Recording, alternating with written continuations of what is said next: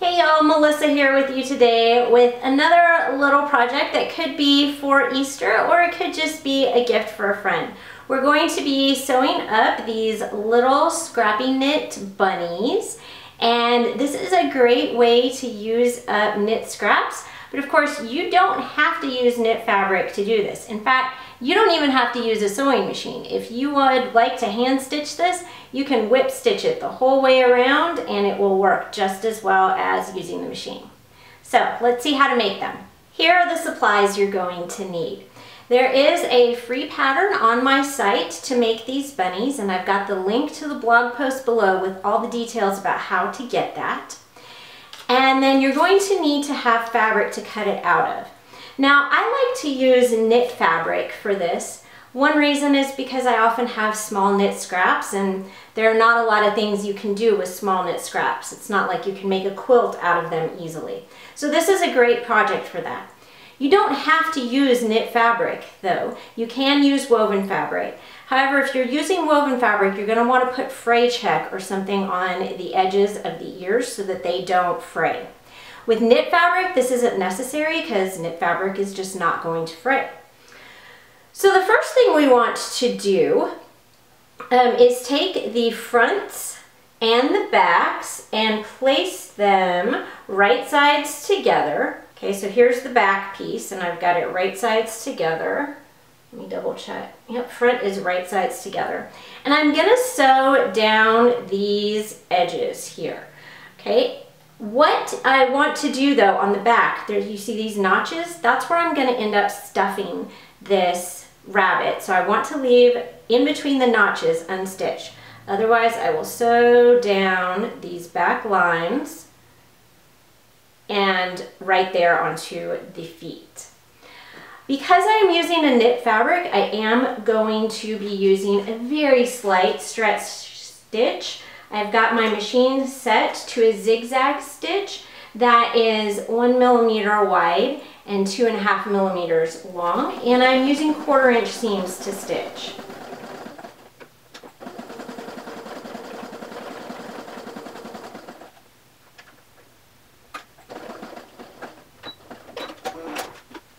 Okay, here I have stitched the front. Let me do the back.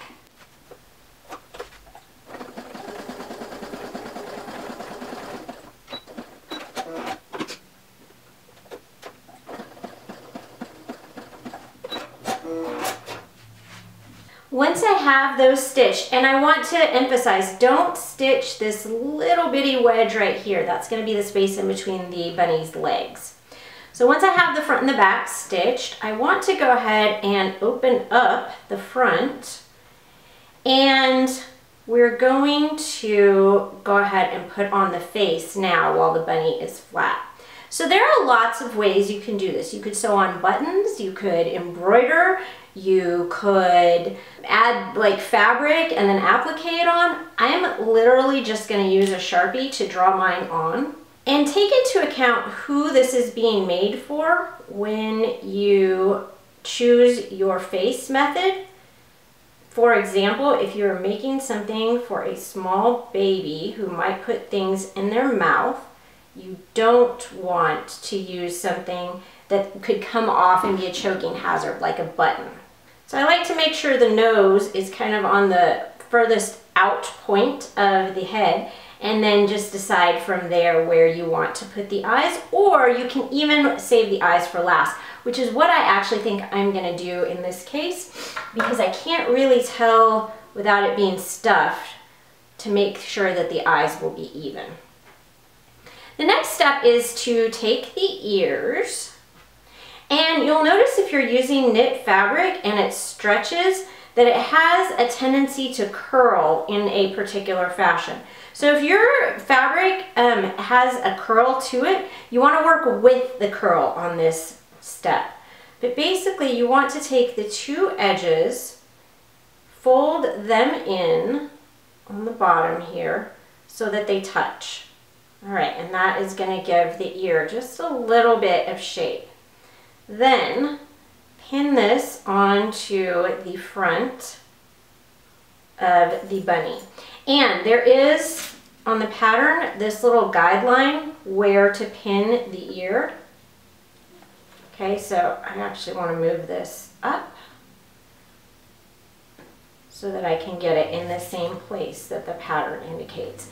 And you of course can transfer these marks before you take the pattern away from the fabric if you'd like. Oh, you know what? I'm pinning these wrong. You want these face down like that. And just go ahead and temporarily pin those in place. Okay, once you have the ears pinned in place, then you can take the back, put it right sides together with the front, and we're going to stitch all around the whole bunny, everywhere except the feet. So I know the feet are kind of funky looking here. It will make sense later. Make sure you match up those seam allowances.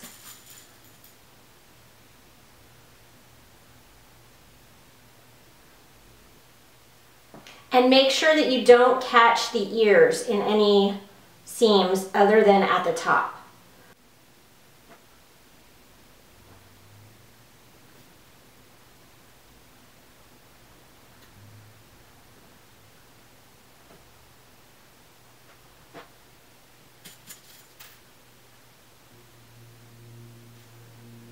All right, we are going to stitch inside the legs here and then around the arms and the rest of the body. We're going to leave these two foot areas open.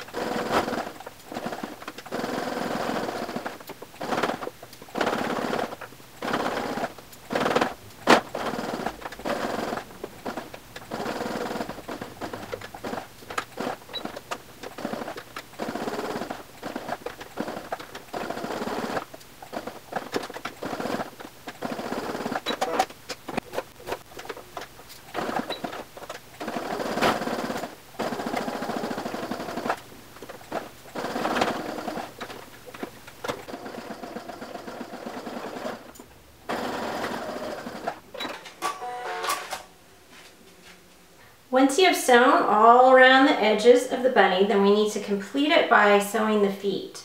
So you're going to pinch your foot like this and open up your seam allowances. And then stitch right across the foot of the bunny.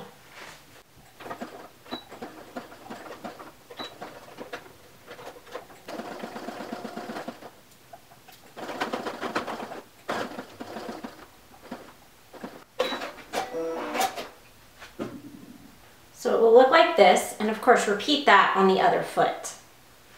When your bunny feet are both sewn, then you can go in through the gap in the back to turn this right side out. You may want to clip into like the corners of your stitching here to help when you turn this right side out so that it is fully turned. Make sure you do not clip through your stitching line.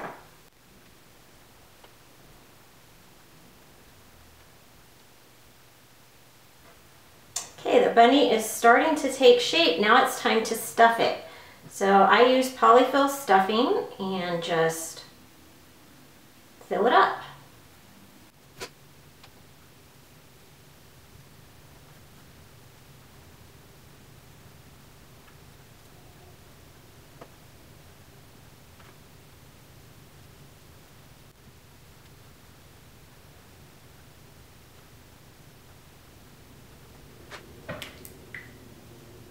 At this point, I'm going to go ahead and draw on the eyes as well.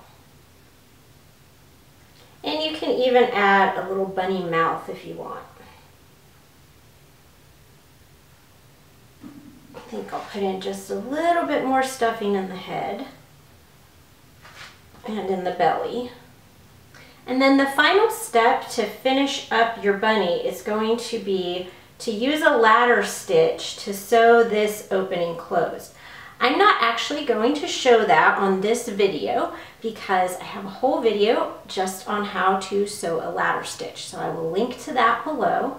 And once you get that done, then you have your little bunny all finished.